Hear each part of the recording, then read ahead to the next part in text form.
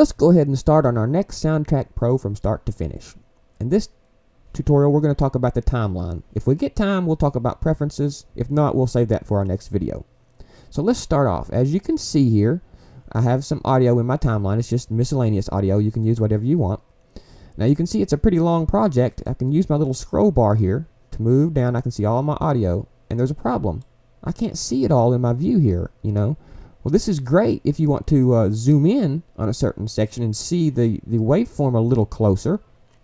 But what if you want to see your whole project and not have to scroll around to find a certain point? Well, of course, you can use this little bar here to scroll and shrink things down or make things bigger, as you can see. And the same thing here with the either side of this scroll bar here. You can grab the one end, make it bigger or smaller. But, you know, you have to use your mouse. So what if what what if I don't want to use my mouse? There's this keyboard shortcut that takes care of that for you. And that keyboard shortcut is Shift Z. If you hit Shift Z, you'll notice boom, it sizes my whole project down into my timeline so I can see the whole whole thing, okay? And that is one keyboard shortcut that every Soundtrack Pro user has to burn into his brain. Okay? Now, everybody knows the play button. This right here is the cycle button, which will cause it to loop if you have a cycle region, okay? And to create a cycle region, you go up to your little timeline here, right click, you'll see cycle region. Let's set an endpoint. Now we have this little blue arrows here, and I can grab these little blue arrows, okay, and set a cycle region. So now if I go ahead and play this cycle region after I've zoomed in, you can see it's going to loop.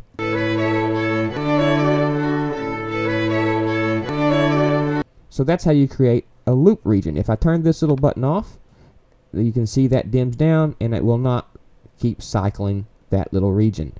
And you can clear this out.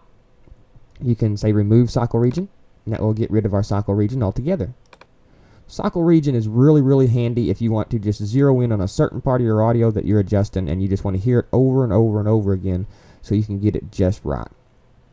Now, a few more keyboard shortcuts that correspond with Final Cut Pro are the J, K, and L keys. They're pretty much the same thing.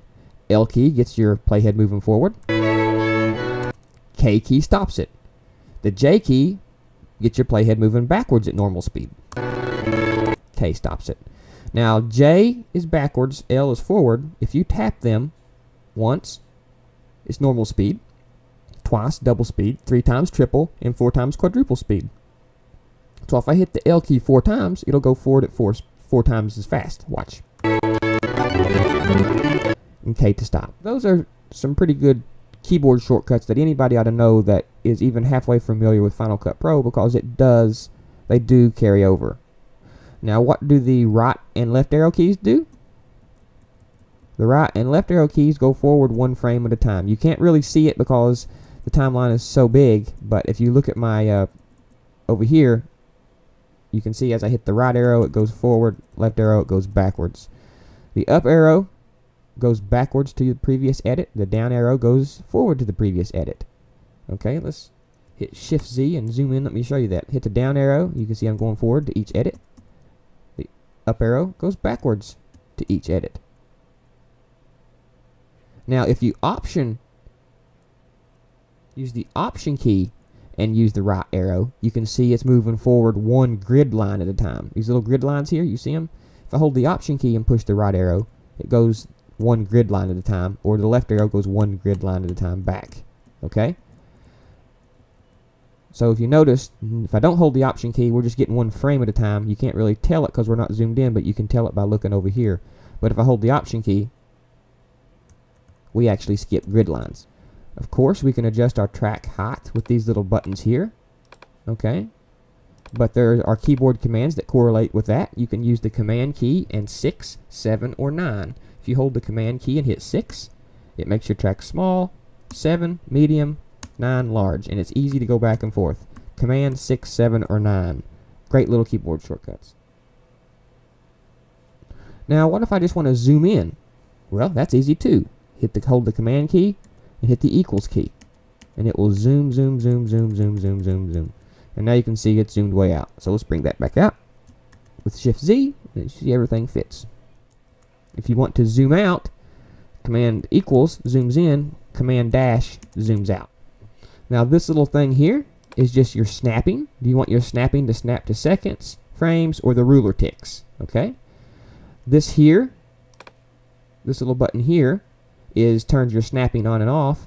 And this one here will turn on your master envelope. If I turn it on, you'll notice up here in our global view, we have a master track now. It's visible. I'll turn it off. Okay. And um, that's pretty much the simplistic overview of the timeline. Now we're not going to go over all these little obscure buttons because we're going to get to those as we get through it because this here is like a MIDI sync button and it's hard to explain right now. Oh yeah, this right here is where your playhead is at. This is the exact time of your playhead location. As the playhead moves, that, that time will move. Okay. And uh, that's the basics of moving around the timeline. You set a cycle region. You can see our little blue line here again. If I right click, I can set a set an endpoint for a cycle region and, and I can adjust the in and out point with this. You can see there's our cycle region and if I want to cycle that region I just got to turn my cycle button on. We have our playhead time. We have our zoom buttons and our track heights. Uh, track heights can be adjusted with command 6, 7, and 9. Okay, don't forget about your J, K, and L keys. They are wonderful little um, handy sh keyboard shortcut. And don't forget Command plus and Command dash or Command minus will zoom and zoom out and zoom in.